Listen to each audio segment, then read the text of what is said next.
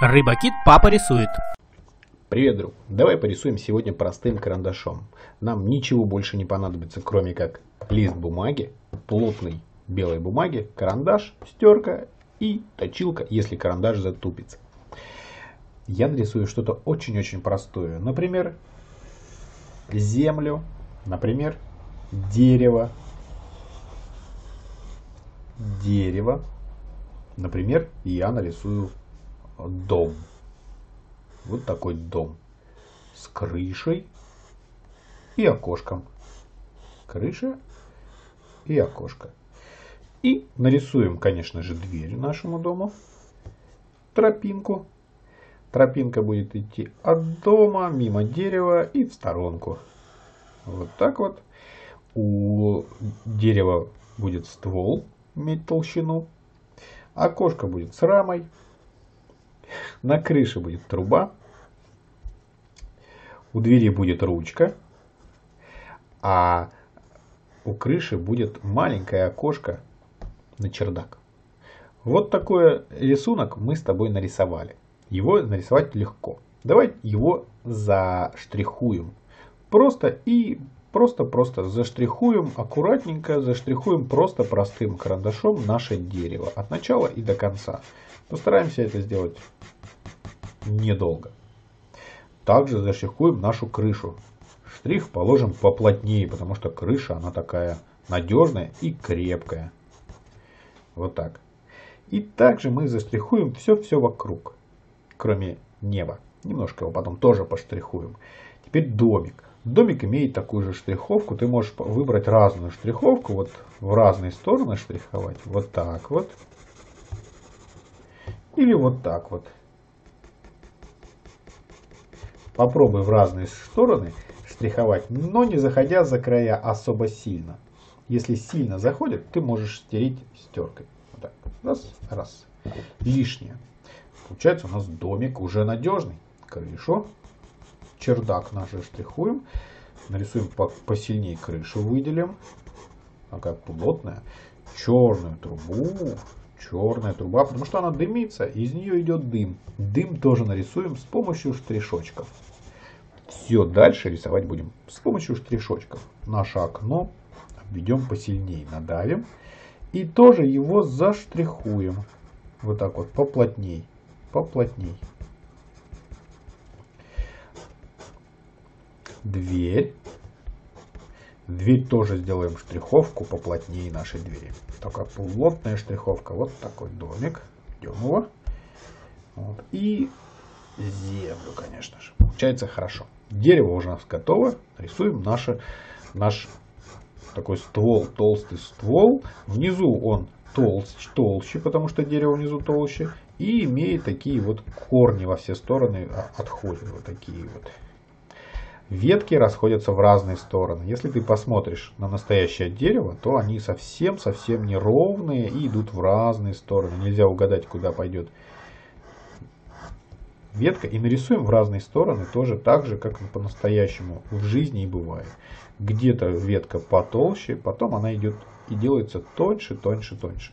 Для того, чтобы ты хорошо рисовал деревья, ты должен выйти на улицу и посмотреть, как они там растут без тебя. Посмотри на их листочки, как они извиваются, и попробуй повторить это все. Это очень интересно. Вот дерево у нас готово. Теперь заштрихуем всю нашу землю. Это дело долгое, но постарайся это сделать до конца вот так штриховкой, чтобы мы можем могли понять, что здесь у нас имеется темная, темная земля, на которой мы нарисуем сейчас и траву, может быть еще что-то. Нашу нашу тропинку мы штриховать не будем. Мы ее сделаем точечками и всякими маленькими штришочками. А здесь мы делаем такую темную-темную штриховку. А здесь я буду рисовать точечками. Вот так, быстро-быстро, точечками, карандашом я рисую. Потому что это песчано-гравийная тропиночка, где просто лежит песок. Песочная тропинка идет к нашему домику. Вот так, от начала до конца я рисую точечки. Постарайся их делать побольше. Потом я нарисую такие маленькие-маленькие штришочки, но не везде, а кое-где. Вот так. Это небольшие камушки лежат. Отлично, мы многое что сделали, теперь я нарисую траву. Траву я нарисую тоже штриховкой, вот так вот, она идет от земли к верху, вот так вот.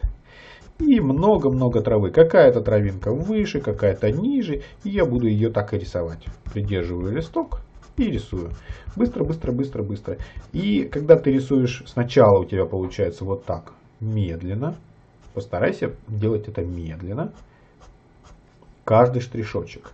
А после этого увеличивай скорость и находи на домик, например, потому что по бокам домика тоже растут трава. Ее не покосили в этот раз. Вот так. Траву мы нарисовали. Кое-где нарисуем цветочки. Цветочки рисовать, я думаю, ты умеешь. Их просто рисовать такой вот. Тычинка, пестик, листочки, лепесточки. И получается кое-где цветочки. нарисуем облако.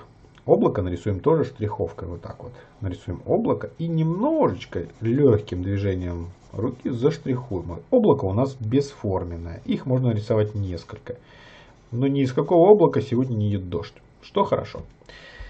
Еще немножко травы. Вот здесь вот, где мы везде нарисовали вот так темную штриховку, мы можем везде кое-где добавить травы и наш рисунок преобразится, будет газончик. Хотя вот мы рисуем кое-где, видно, что она почти везде растет. Так, так, так. Рисуя карандашом, рисуя карандашом, конечно, ты учишься держать его правильно. Вот так или вот так. И попробуй порисовать, э, сделать штриховку, как я сейчас держу карандаш, вдоль руки. Вот так вот. И это довольно сложно. Или вот так, как ты держишь ручку в школе, к примеру. Вот так делаешь штрихи разными по форме. Вверх-вниз, вверх-вниз, вверх-вниз или вниз-вверх, слева направо или справа налево. Здесь можно рисовать двух маленьких-маленьких птичек и, наверное, все. Сегодня наш урок рисования карандашом простым закончен. Мы совсем не использовали стерку, и я не советую ее использовать. Просто рисуй сначала легонечко, потом а, сильнее надавливай. Где темный, ты рисуй посильнее дави. Где легко, там рисуй легко и нежно. Получится у тебя хороший рисунок. Спасибо, что ты рисуешь со мной. Это сложно рисовать карандашом, но постарайся. Сначала начни с простого. Земля, дерево, дом, какие-то облака, может быть травка, точечки и штришочки, а после этого перейдем к чему-то более сложному. До новых встреч! Рыбакит папа рисует.